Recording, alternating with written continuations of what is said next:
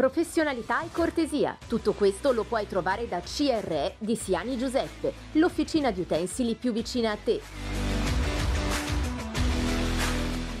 La Procura di Nocera Inferiore ha concluso le indagini sulla tragica morte di Francesco Pontone, il diciassettenne di Castel San Giorgio, deceduto in un incidente stradale la sera del 17 giugno a Cava dei Tirreni. L'incidente si è verificato in via 25 luglio, quando lo scooter su cui viaggiava Pontone come passeggero, guidato da un suo giovane amico, durante un sorpasso si era scontrato con una Hyundai che proveniva dal senso di marcia opposto e che aveva oltrepassato la linea di mezzeria per evitare a sua volta l'ingombro di una Ford Fiesta. Le dinamiche del sinistro sono state ricostruite nel dettaglio dalle forze dell'ordine durante mesi di indagini e ora la procura ha individuato tre persone indagate per omicidio stradale, stralciata la posizione del giovane che guidava lo scooter che sarà valutata presso il tribunale di Salerno, mentre per gli altri due soggetti coinvolti, ovvero il conducente della Hyundai, un uomo di 75 anni, e il proprietario della Ford Fiesta, un giovane di 26 anni, la procura ha ritenuto che le loro condotte autonome abbiano contribuito in modo determinante alla tragedia. Secondo la ricostruzione del pubblico ministero, l'incidente è stato causato da una serie di manovre errate e da condotte negligenti. Il giovane alla guida dello scooter avrebbe tentato un sorpasso in condizioni non ideali, nonostante lo spazio ridotto causato dalla presenza di veicoli nel senso opposto. La responsabilità del 75enne alla guida della Hyundai invece risiede, secondo il PM, nella sua decisione di non rallentare o fermarsi completamente durante l'incrocio con il ciclomotore, nonostante fosse evidente la presenza dell'auto in sosta vietata e la manovra di sorpasso in corso da parte dello scooter. Il suo tentativo di evitare l'ostacolo sulla destra spostandosi verso il centro della carreggiata ha aggravato la situazione restringendo ulteriormente lo spazio per il passaggio del ciclomotore. Anche il 26enne proprietario della Ford Fiesta ha ricevuto accuse simili. La sua auto, parcheggiata in sosta vietata, costituiva un ingombro significativo per il traffico. Inoltre il giovane proprietario dell'auto si trovava fuori dal veicolo, vicino alla porta del lato guida, con un borsone a tracolla che sporgeva sporgeva verso la strada, contribuendo ulteriormente a ridurre lo spazio di manovra e creando un pericolo per chi transitava sulla via. Le indagini hanno quindi stabilito che la tragedia è stata il risultato di una concatenazione di errori e negligenze da parte di tutti gli indagati che non hanno tenuto conto delle condizioni di sicurezza e delle regole del codice della strada. Pertanto, per tutti e tre i soggetti coinvolti, oltre all'accusa di omicidio stradale, si profilano anche diverse violazioni delle norme stradali. La Procura di Nocera Inferiore, dopo aver notificato gli avvisi di chiusura delle indagini, è quindi pronta a chiedere il processo.